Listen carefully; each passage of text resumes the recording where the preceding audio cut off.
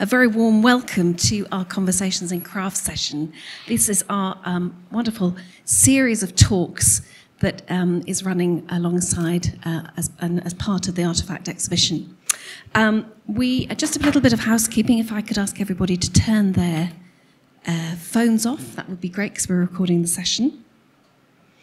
Well, we have got a most amazing panel for you today. Um, so get ready to hear from some amazing craft makers and curators Celia Pym, Jane Marriott, Alice Kettle, Jay Mistry.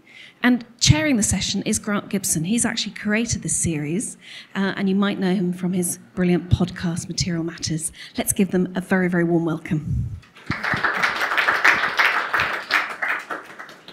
Thank you, Becky. That was a warm welcome. Thank you very much. Appreciate that. Nice to see you this morning. Thanks very much for coming.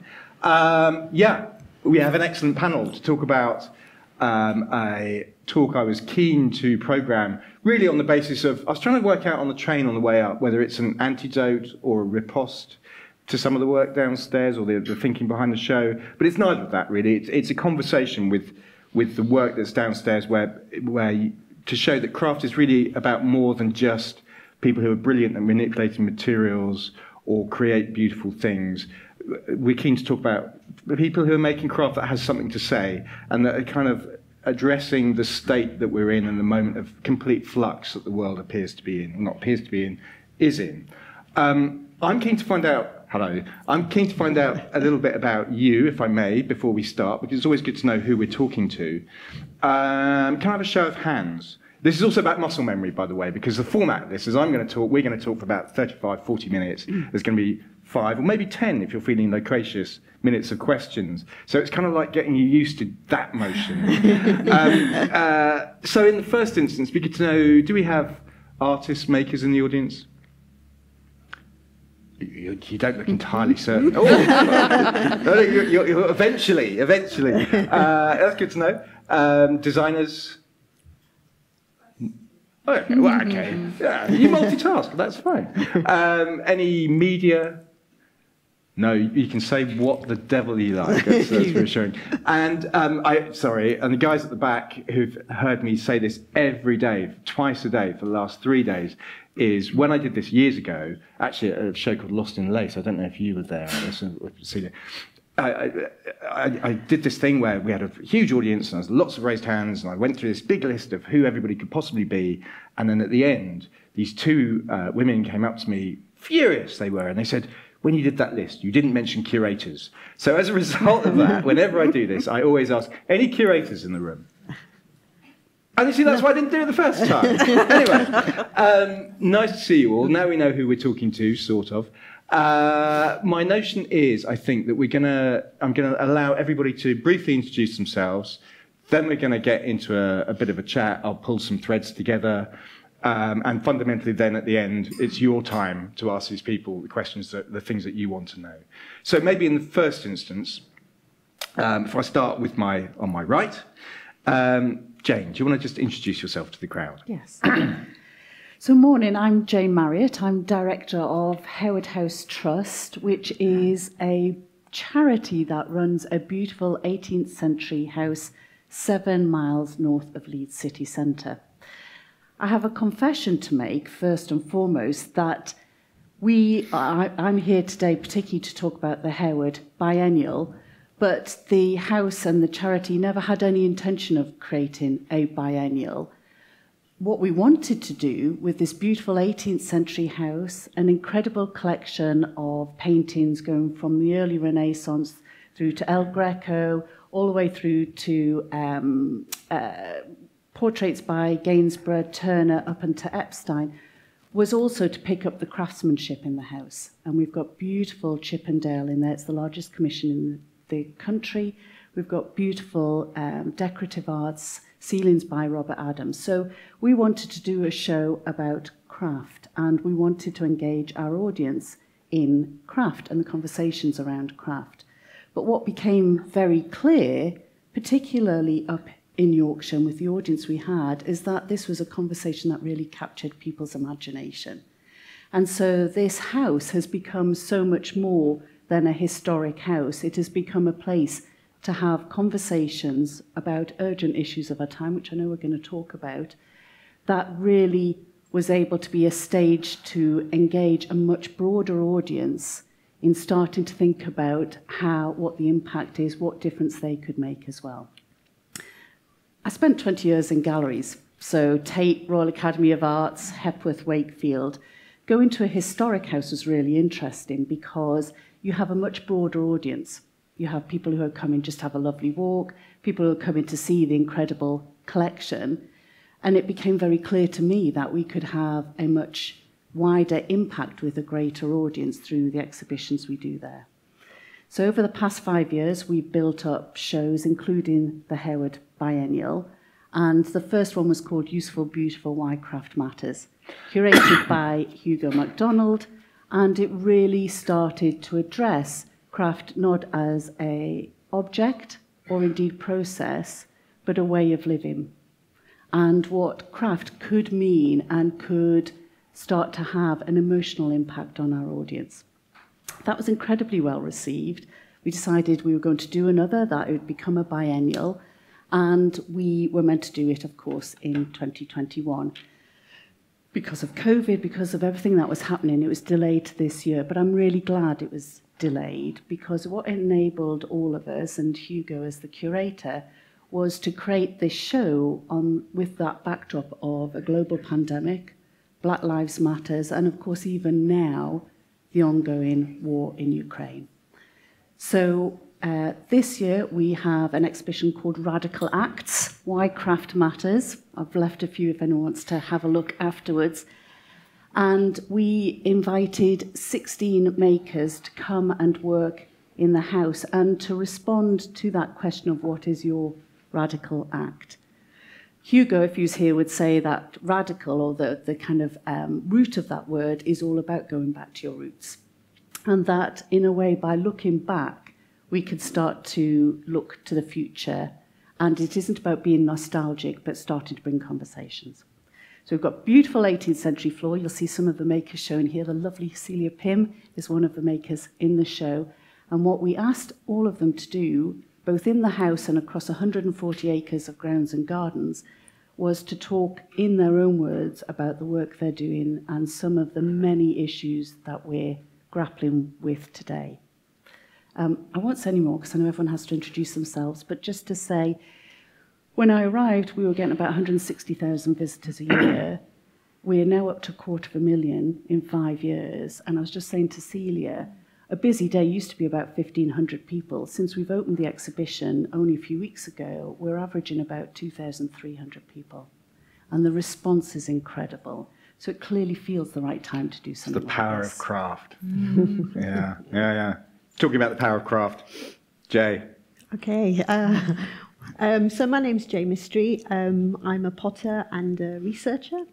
Um, and so in my academic work, um, I, I look at issues to do with conservation, biodiversity conservation, um, forest management, um, mostly in the Amazon basin. And I work a lot with indigenous groups in that region.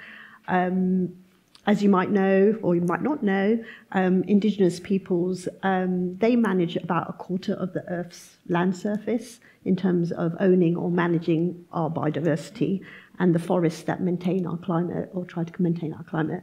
So their knowledge is really, really important for everybody, and you know, for themselves, but also for us as well. Um, but they have, um, they don't really have get to have much of a voice in terms of how the environment is managed. They're pretty marginalized, obviously. They've had centuries of colonization and various other types of violence inflicted on them. Um, and so one of the one of the bits of work that I do is trying to bring indigenous voices to decision making around conservation and forest management in that region. Um, and it's kind of like building, you know, taking different types of knowledge systems. So I'm trained as a scientist and have lots, we have lots of scientific knowledge about how the Amazon works, for example, but indigenous people also have their own traditional knowledge about how things work, and it's about bringing those two types of knowledge to the table on an even playing field. Um, and yeah, having conversations around that. So my kind of uh, academic work focuses on that. But as a potter, so I've been potting um, since I was about 18. Um, but I actually, originally, I'm of Indian heritage, Gujarati heritage, and I come from the caste of potters. So my heritage is Kumbar, which is caste of potters. Um, and my name is Jay Mistry. Mistry is actually they over time different groups they change their name and so my name Mistry is actually called is a skilled artisan so it's kind of like a wider grouping of people so my grandfathers for example are carpenters or were carpenters um, so they kind of changed their skill their art artisan um, to something slightly different but a lot of my relatives are still potters I'm intrigued. So, did you feel you had no choice? You had to. What you you had to work with clay. No. It was your destiny. well, the thing is, I suppose when I've when as a child I went to India quite a few times Mm. with my parents, and I saw my relatives. My, my parents were, never did any kind of craft or uh, neither carpentry nor uh, potting, but my other relatives, they were all potters, and I used to see that when I used to mm. go there. I suppose it's kind of something that kind of like by osmosis, kind of mm. like I kind of, you know, kind of absorbed.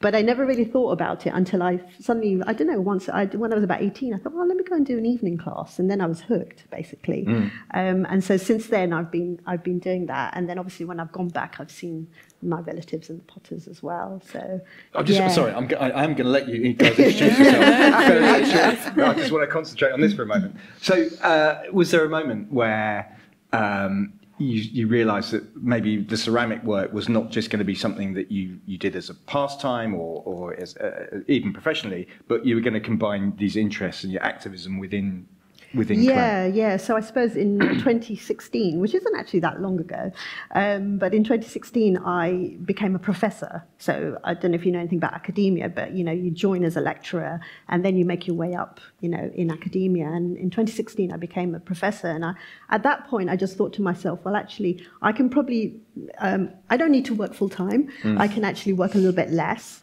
and dedicate a bit more time to pottery, which I've always done, but never had enough time in my life to do it. And so, yeah, I went down part time. I did a HNC at Richmond Art School, which was just an amazing experience because uh, as someone who's trained as a scientist, my brain works in a certain way. And when I started doing that course, it was just like, what is this? What's a sketchbook? What's this? You mm. know, I just couldn't compute, you know, because I was so used to writing academic journals and, and being very critical and just, you know, very analytic and stuff like that. So it was a brilliant kind of learning experience. Mm. And I, I think it's at that point that I would kind of say that I became what I like to call myself a serious potter, you know. So moving away from that kind of just kind of potting around in my kitchen or in the studio with one of my friends to actually doing something which is a bit more, you know, um, I don't know, aligned with the, the, the work that I do in my academic work. And so I kind of started through that HNC bringing those two bits of work together. And then in 2018, uh, 2019, I got a Crafting Futures grant, which I'm going to talk about Yes. a little bit later. Yes. Um, yeah. Fantastic. I mean, from one professor, God, I feel underqualified. Just my BA. don't know what I've been doing with my time. To another, Alice, do Yeah. feel free to introduce yourself.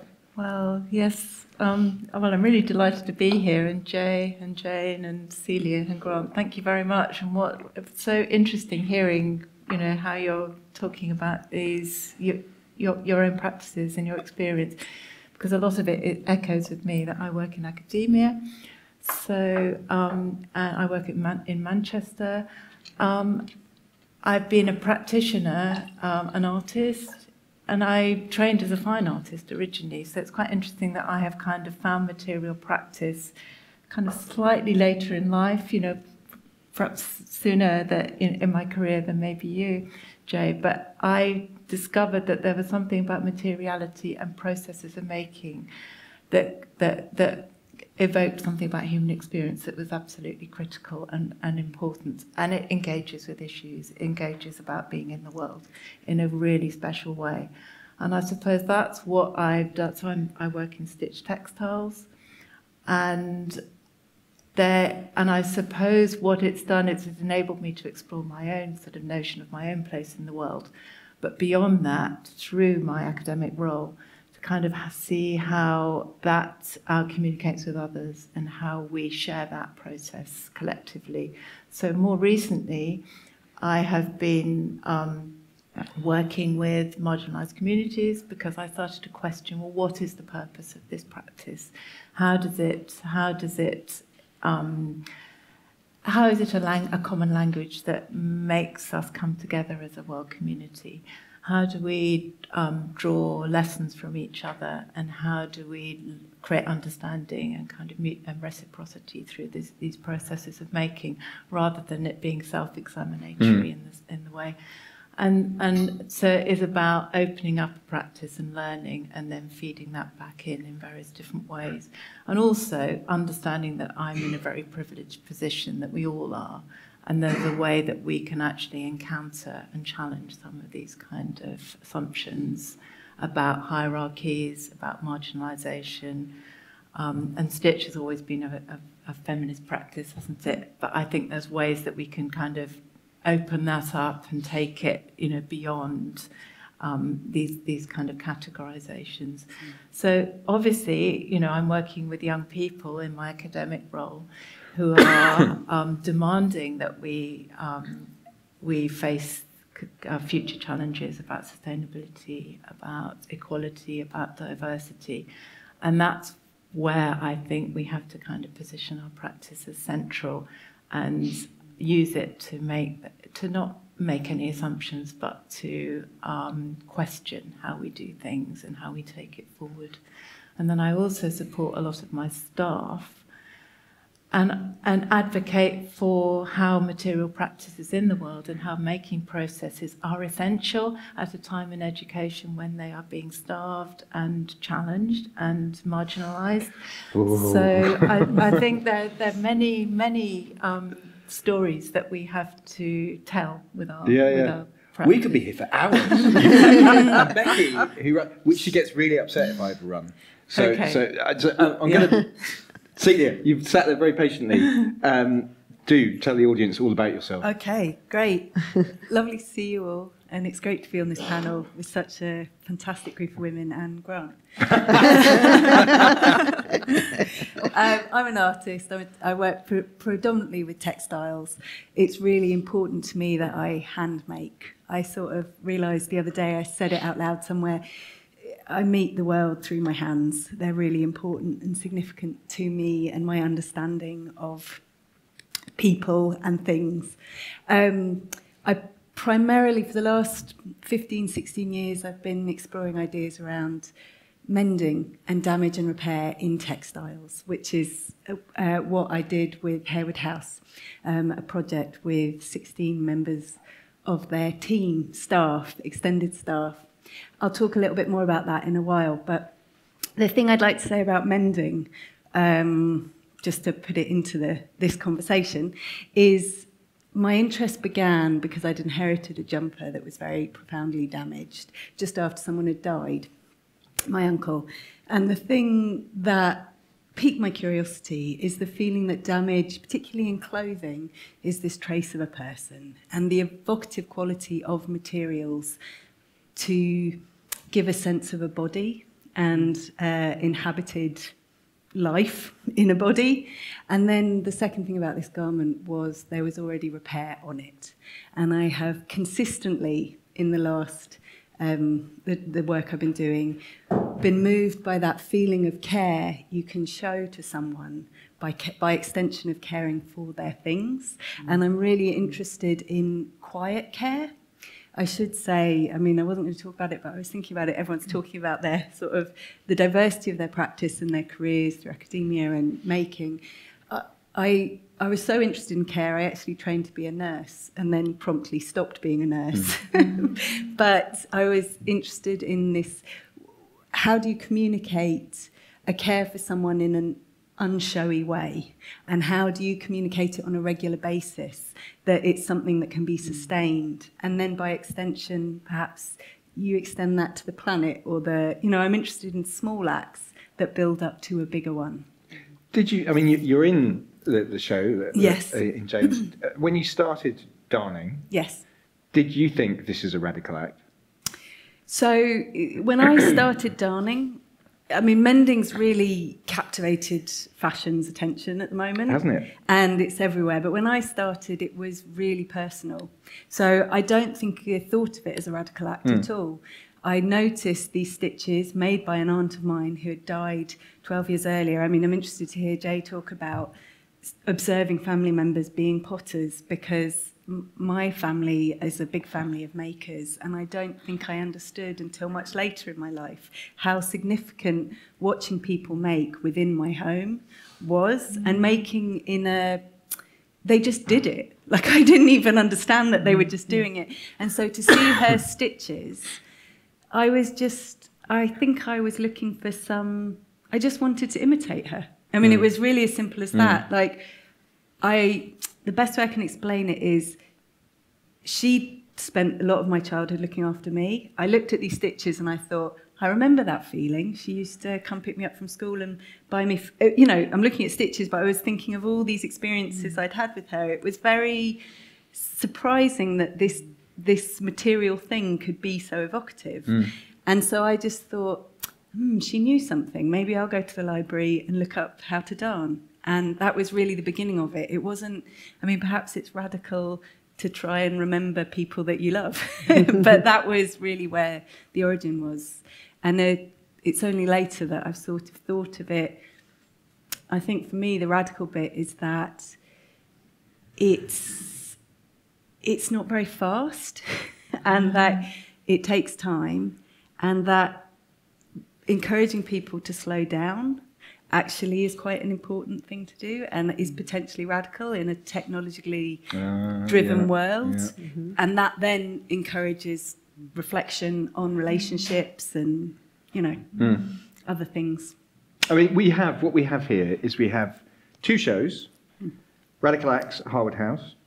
Jay, you're in the show Gaining Ground at the Crafts Council. I'm going to. These are plugs. Alice, you're kind of you're kind of independent, but you have this fabulous book that you gave me just before we, we walked in, um, which we're going to talk about as well. But it, maybe in the first instance we talk um, a little bit about the Harewood House show, um, and as you said, this is the second edition.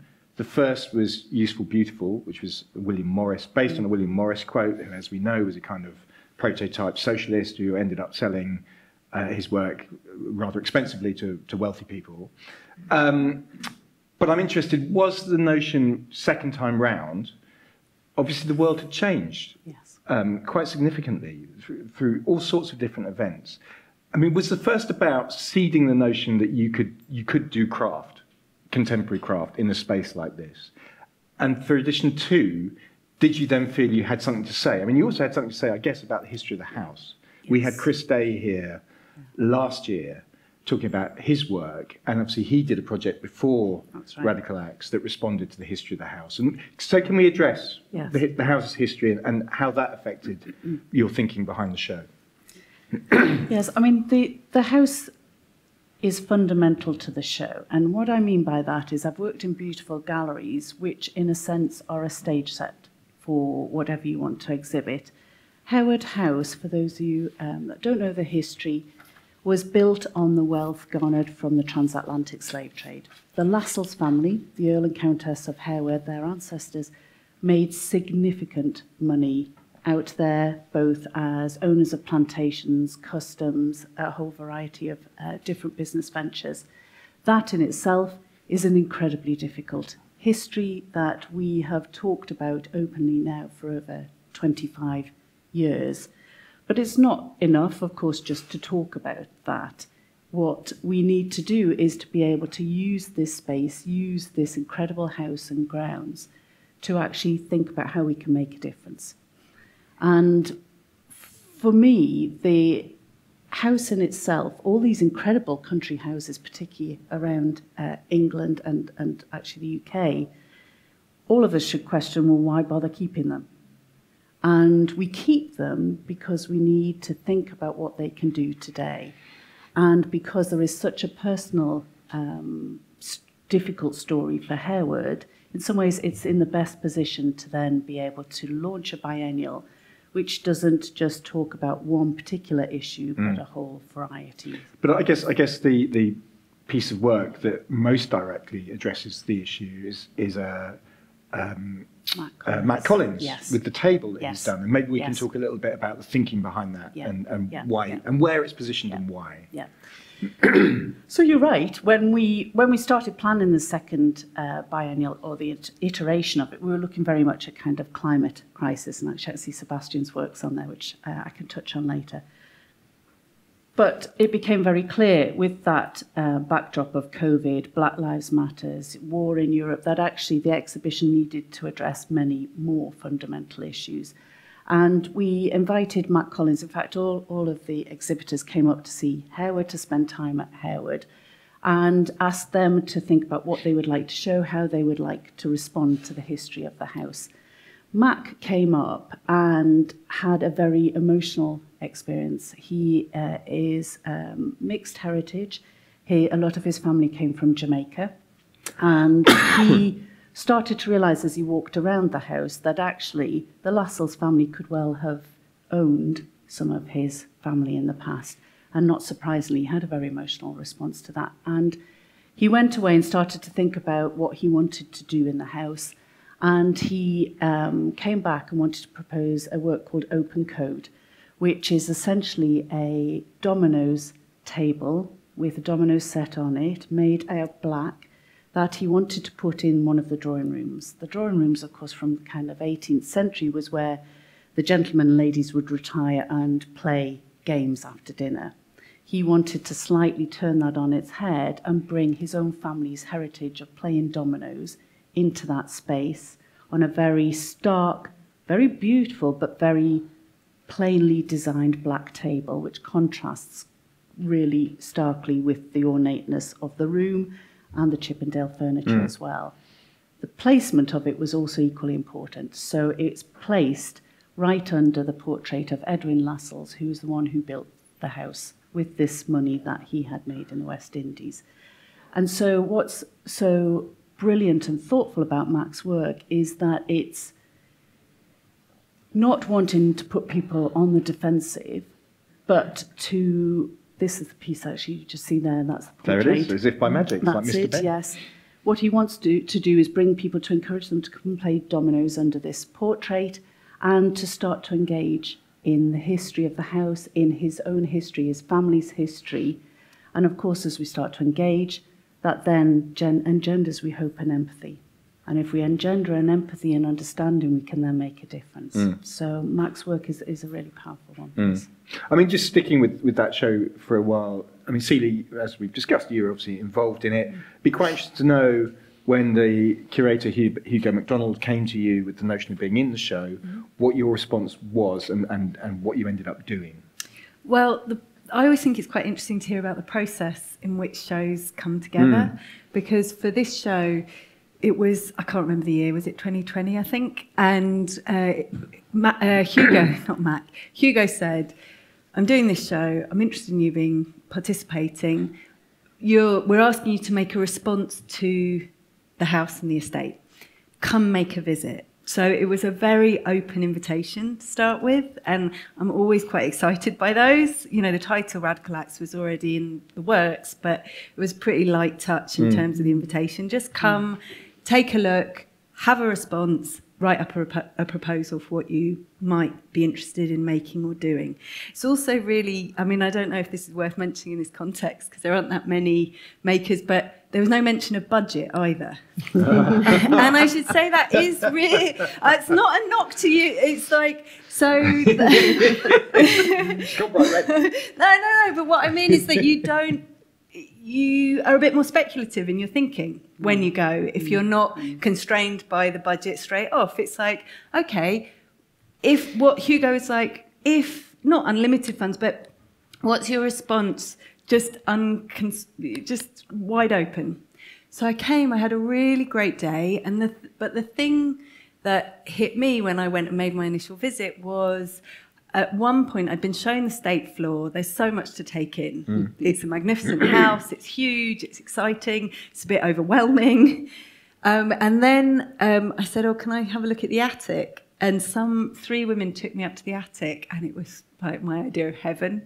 Boxes of stuff, dusty. All the the ceiling was a bit lower, and the but the women who were showing me around were just a lot of fun, mm. and I really hit it off with them. And I, I mean, my proposal changed over time, but what stayed with me was meeting them, and being getting a sort of look behind the scenes of the house. So then the proposal evolved out of that. I've slightly forgotten what your question was. Well, what was it? Sorry, Grant. Wasn't that interesting? no, it was. What was the end result? What did you? Oh, so the end result. So the end that. result. Yeah. So then, then, but it was a long back and forth. So six months later, eight months later, we agreed on the proposal, which was that I would.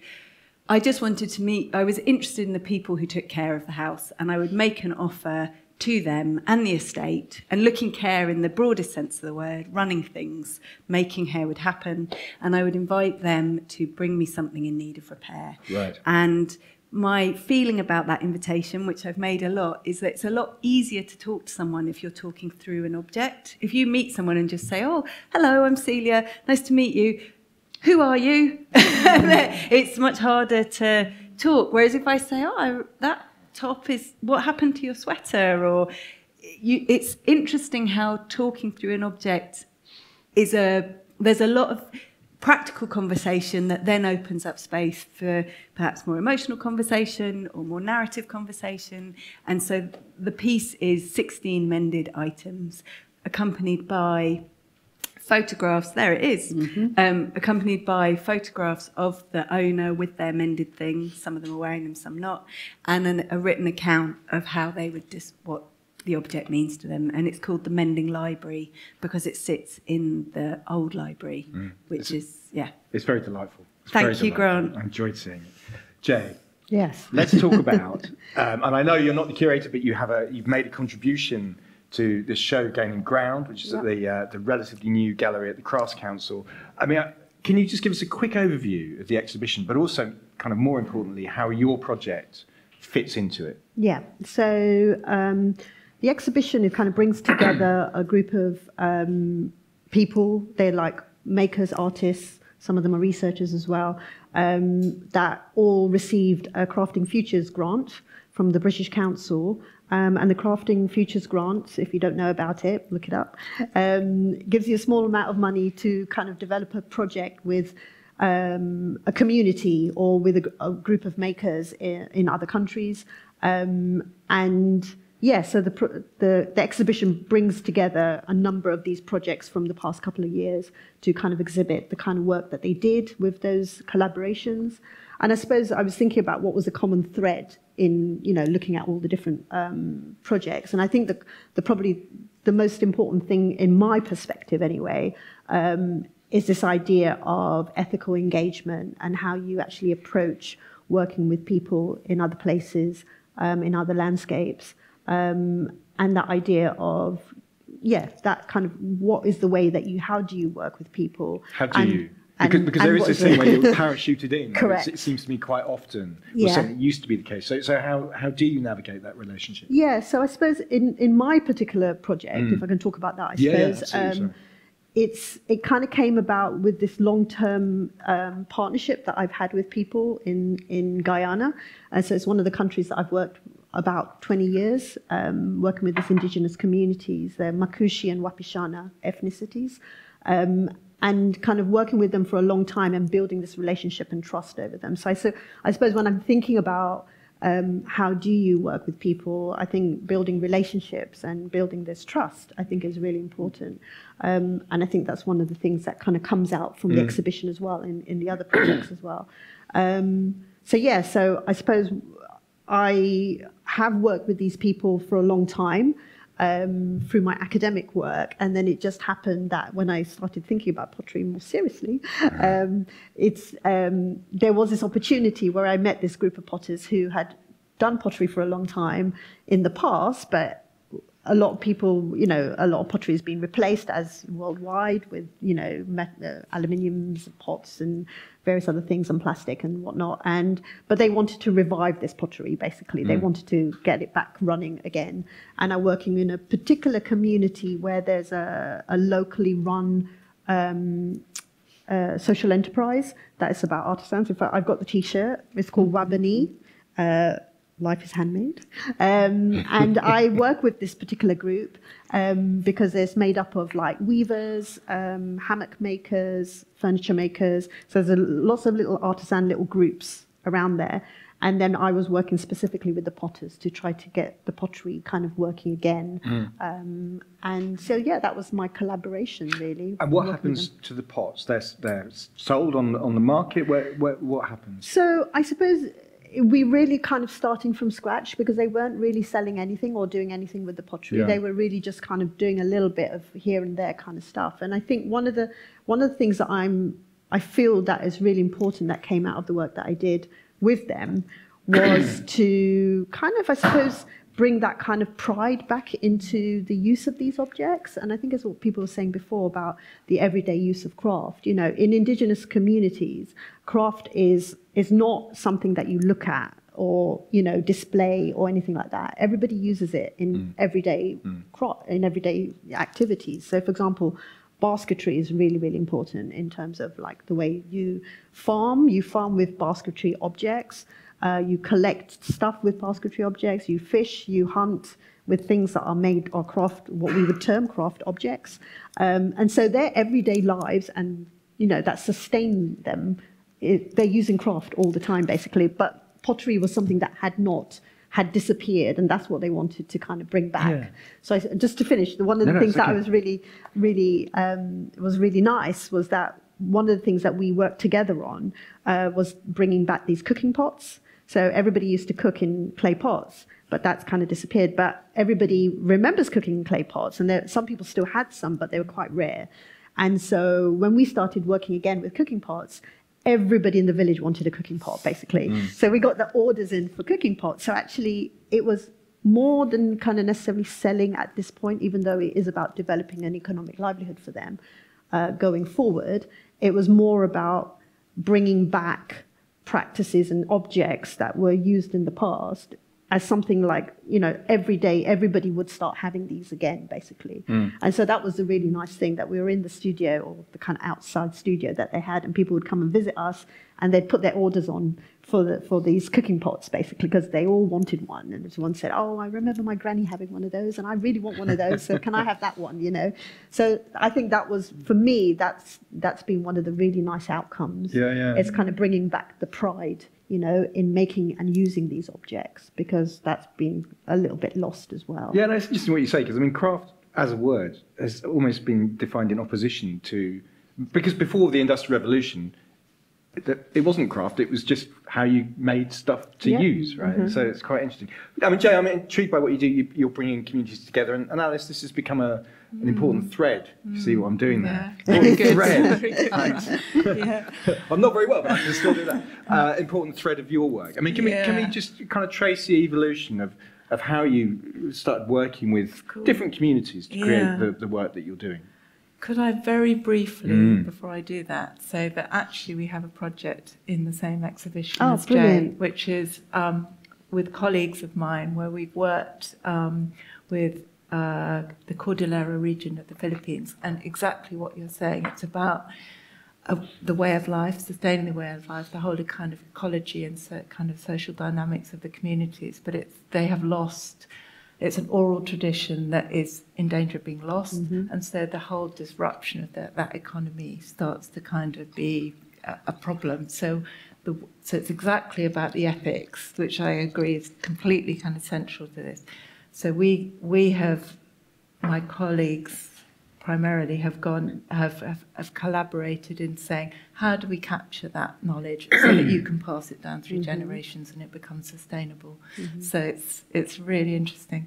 But to come back to your mm. thread, um, I start. Well, I have three daughters, and you know how how children are. They kind of challenge your sort of everyday, um, you know, attitude to life. And so I was um, one of my daughters said to me, I'm not going to do art because it's very about the self and it's very egocentric and I'm never going to be able to earn any money. And of course, she's absolutely right. and, and, she and she has she's um, very interested in human rights and social justice, as am I. And I think there's something about craft that has a democracy. Mm-hmm. And making and artists, you know, artists, you know, they can kind of transgress the norm. They can see things differently and imagine, you know, different kind of futures. And I started to think, actually, what am I doing in terms of my own practice? It, it needs to kind of reach out into the world and kind of create change. And you can do that in quiet ways, as exactly as Celia says. And so I um, decided I couldn't actually go forward unless I acknowledged this as a, um, and also all of us, you know, you meet such extraordinary people, and it's very humbling in terms of and textiles is a way is, is something that is is practiced all over the world in very mm-hmm. different ways. It has very specific knowledges, but it also has a commonality. And not only that, it, it kind of maps the trades, trade routes, and all of those kind of really problematic colonialist, post-colonial histories, the mm. slave trade, etc.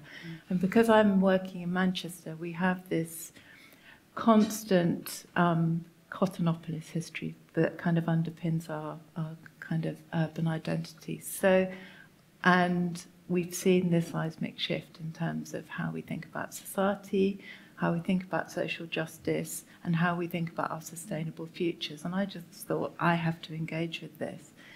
And um, that's much more complicated than you anticipate. You go into it in all in innocence. And so I've worked, and I it, I started working with refugees, and this whole, whole idea about migration, how textiles has migrated, it's kind of underpinned the economy and prosperity of Manchester and many of our many of our industries in um, in the UK. And that's about people. It's about kind of a demographic. It's about knowledge. It's about um, the way we, we, we have created the Commonwealth. So I felt that I had to address the the the, uh, the movement of people, people um, the people displacement, which kind of proliferated in the 2014-15 post um, the um, you know there was that period of time where conflict you know the Arab conflict etc mm. etc et and so I had to frame put a proposal in put frame a project which then um, I had to kind of find ways of delivering and what I felt was fundamental to it was the ethics that it wasn't my lived experience but I had to hold it together. And it had to be something that kind of elevated humanity.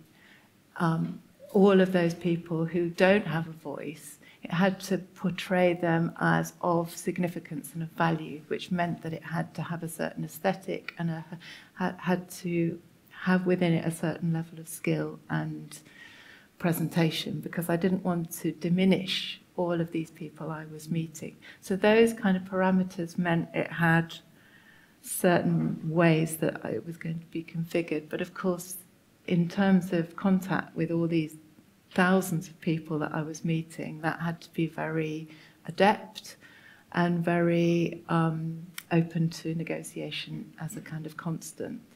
And I still continue to do that. Um, and it's it's made me examine myself and my own motivations and my own sense of privilege and the, my own place in the world. And it also has made me think this has to be sustainable. Ha- it has to constantly be, be recycled and kind of represented as something that supports, continues to support and goes forward. So I don't just drop in. Mm. Um, and that you can't presume anything about that. You have to kind of be open to anything and everything. So does that It does. It does. We're running out of time, and I know we're running out of time because this monitor in front of me is telling me I have three minutes and 30 seconds. Um, I'm very keen if there are any questions from the floor. We did the raising hands thing earlier, so you're well versed. Um, does anybody have any questions that they want to, to pose to the panel? Are you sure? See, generally, I go into the crowd with a mic and I force somebody. but, but I'm not doing that because I've got Becky running around. Okay, well, then, if nobody's got any questions and you're absolutely convinced you don't have any questions, I'm sure the panel will be hanging about for a little bit afterwards. I'm inclined, therefore, to, to wrap it up. I mean, I, I, it's a bit frustrating because I think we could have talked for at least another three quarters of an hour, but we don't have that privilege, unfortunately. So, in that case, I'm going to say Thank you very much to Jane, to Jay, to Alice, and Celia. Thank you very much for your time, everyone. I really appreciated it. Thank you. Thank you, guys. It was great. It's really cool. Just, just adding our thanks. Gosh, what a thoughtful session. Uh, thank you for sharing your incredible wisdom uh, and your wise words. There was, I was making lots of notes, and I know that lots of people in the audience were also doing that. Talking through an object, um, it brings engagement, doesn't it? Um, whether it's community or whether it's through an indiv- individual, it engenders empathy and understanding. And as Jane said, it can make a difference. Uh, Grant, you're right. We could have been here um, for the entire for the entire another three hours. So much to talk about, so much to think about. Thank you um, so much, uh, Jane and Jay and Celia and Alice, and of course Grant for leading the session so beautifully. Let's give them another round of applause.